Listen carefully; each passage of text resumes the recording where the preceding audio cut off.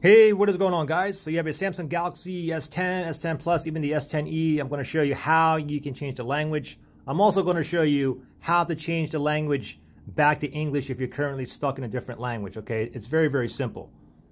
So first thing is go ahead and go to your settings. You can slide down the notifications, top right hand side, tap on the gear icon, the settings icon right there. And then from here, you want to go ahead and you want to scroll down to general management right here. Tap on that and then the first one up here says language and input. Tap on that. And first one again, it says language is currently in English. Tap on that. Now from here, I have English here, okay? Now if I tap on add language here, now I get some Samsung suggested languages on here. However, if I want to add a ton more different languages on here, top right hand side of three dots, tap on that and then tap in all languages. And now I got tons of more other languages on here. Now let me do this. Let me go ahead and put it in Korean here. So Korean wouldn't be under here because it's under the Samsung suggested language. So let me go back here.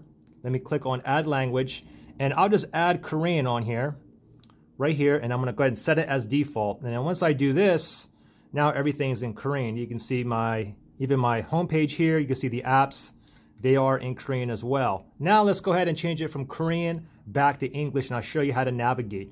Okay, so first thing again, go ahead and go into your settings here. And now you want to go to general management. Look for this icon picture right here. So tap on that again.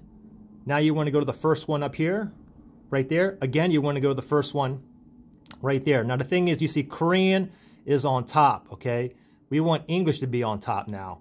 So what you have to do, if, if you don't have English already on here, if you bought the phone and it already came in Korean or Chinese, whatnot, then you got to tap on the plus sign down here. Anyway, mine is right here. So I'm going to press and hold, and I'm going to move this up right there. Okay? And now I'm going to go ahead and tap this for the OK. And as soon as I tap on this, it's going to go back to English. Okay, now you can see it is on English right now. And now if I wanted to go ahead and remove a language, I currently have uh, English is number one. Number two is Korean. I can tap on remove, select it, tap on remove, and now the only thing I have is English. So everything is back to English. Even my home screen here, you can see all the icons are back in English as well. So pretty simple. I hope that helped you guys out. Thanks for watching, guys, and I'll see you in the next one.